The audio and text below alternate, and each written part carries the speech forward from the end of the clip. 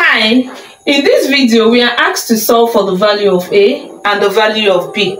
Okay, let's call the first equation equation 1 and this one equation 2. Okay, so from equation 1, from 1 we can see that B is equal to 100 minus A. Okay, yes, B is equal to 100 minus A. Now let's call this equation 3.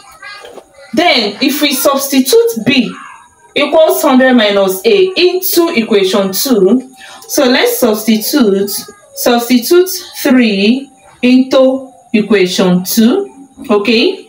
Now, what does equation 2 say? Equation 2 says that AB is equal to 100. So that means A bracket, now our B is 100 minus A, right? 100 minus A is equal to 100. All right. Now, let us open this. Let's open the brackets. A times 100 will give us 100A. So we have 100A and A times minus A will give us minus A squared. Minus A squared is equal to 100. Now, let us bring this to this side because when you look, the, look at this, you notice that we just formed quadratic equation. So we are going to bring this to this side. And if we do that, we have 100A minus a squared. Now plus 100 will cross to become minus 100 is equal to 0. Now let's arrange this well, okay? Our square will come first followed by this and then our constant. So we have minus a squared plus 100a minus 100 is equal to 0. So to remove this negative sign, let's multiply through by minus 1, okay? Let's multiply through by minus 1 so we multiply through, multiply by minus 1, okay? So we are going to have a squared minus 100a plus 100 is equal to 0. So looking at this, we just formed the quadratic equation. Now we are going to solve this using the quadratic equation formula. The one that states that since we are looking for a unfortunately a right? We, we are not going to get confused. Remember that a will give us minus b plus or minus square root of b squared minus 4ac everything divided by 2a okay? Now in this case our a the first value our a is going to be coefficient of a squared which is 1 right? So our a will be 1 uh, B is coefficient of A, which is minus 100, minus 100, and our C is our constant, which is 100. So we are going to substitute these values into this to get the value of our A.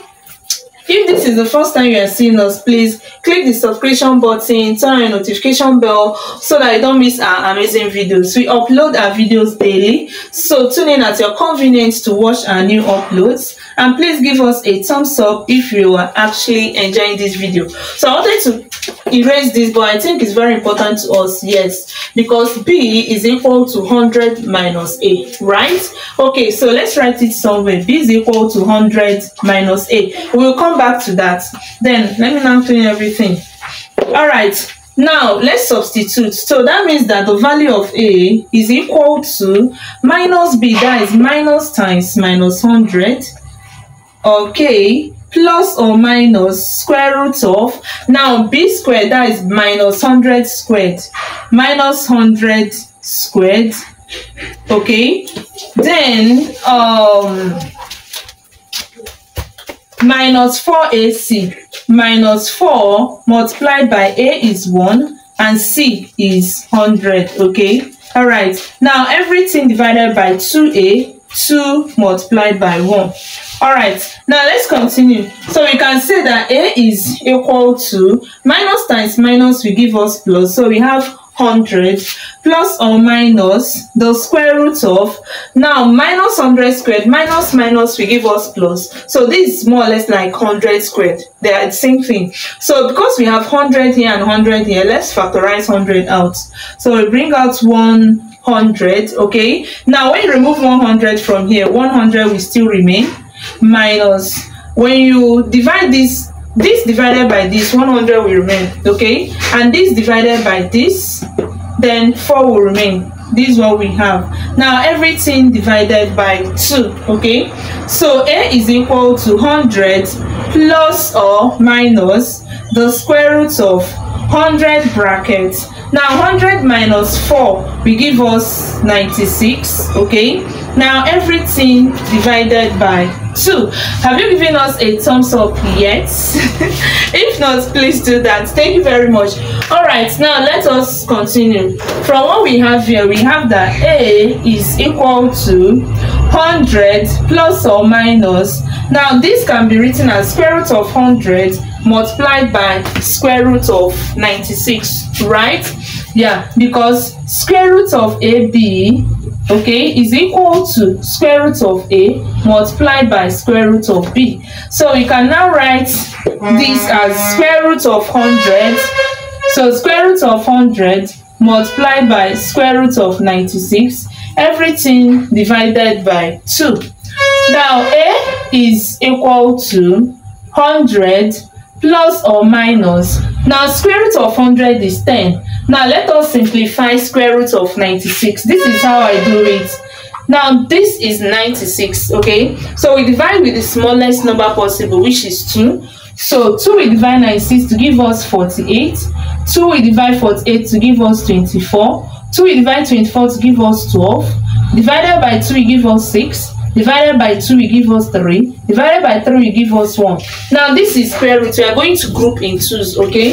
So 2 times 2 will give us 4 2 times 2 will give us 4 and we have 2 times 3 is 6 okay? Now we need a perfect square. So we are going to multiply this and this to get another perfect square okay? So 4 times 4 will give us 16 so it means that 96 is same thing as 16 times 6 okay? Yeah so that is how i simplify my surds no matter how big they are. So this is going to be square root of 16 multiplied by square root of 6 okay? So we have sorry everything divided by 2 so we have a is equal to 100 plus or minus 10 multiplied by square root of 16 is 4 okay? Then multiplied by square root of 6 now we have a okay divided by 2 so now we have a is equal to 100 plus or minus 10 times 4 is 40 then square root of 6 divided by 2 all right now that means that we have two values for our a okay? A is equal to 100 divided by 2 plus or minus 40 root 6 divided by 2. Okay, we are almost there. Almost, almost there. So that means that A can be written as when 2 divides 100, we have 50 plus or minus, plus or minus 40 divided by 2 will give us 20. So we have 20 root 6, 20 root 6 okay? So this is the value of our a. That means our a a1 is equal to 50 plus 20 root 6 and our a2 is equal to 50 minus 20 root 6 recall that b is equal to 100 minus a from here from equation 1 all right now we have two values for our a. That means we are going to have two values of b and we are going to prove that the answer we got are correct okay? Now look at it. We have that b is equal to 100 minus a. So when a when a is equal to 50 plus 20 root 6 okay? Then b let's call this a1 b1 will be equal to 100 minus a1 so b1 will be equal to 100 minus 50 plus 20 root 6 okay?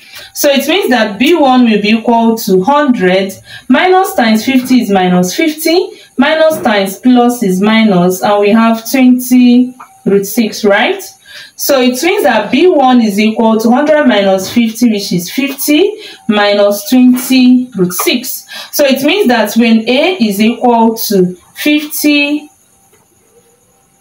A1, comma B1 will give us 50 plus 20 root 6 comma 50 minus 20 root 6 okay? So we have gotten the first value of a and the second value and the first value of b. Now when a when a is equal to 50 minus 20 root 6 we have that b will be equal to 100 minus what? 50 minus 20 root 6 so let's solve further if we solve further we will see that b which will be our b2 this is a2 okay?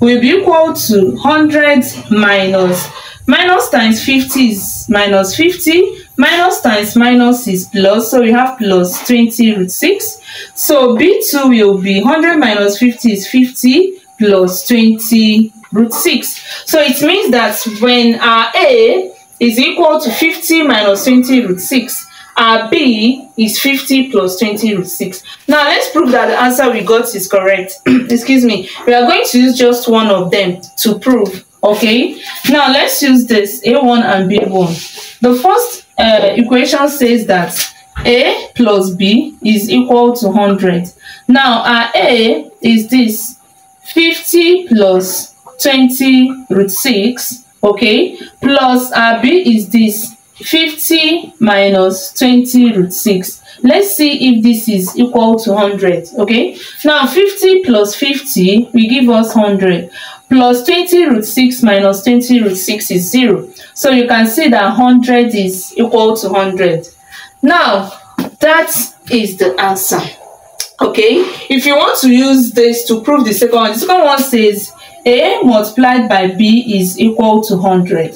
All right, now our A is 50 plus 20, 50 plus 20 root 6 all right multiplied by 50 minus 20 root 6 let's see if this will give us 100 let's see if this is equal to 100 now we have 50 look at this you see that we have 50 times 50 okay to open the bracket 50 times 50 is 2500 50 times minus 20 root 6 will give us minus 1000 root 6, right?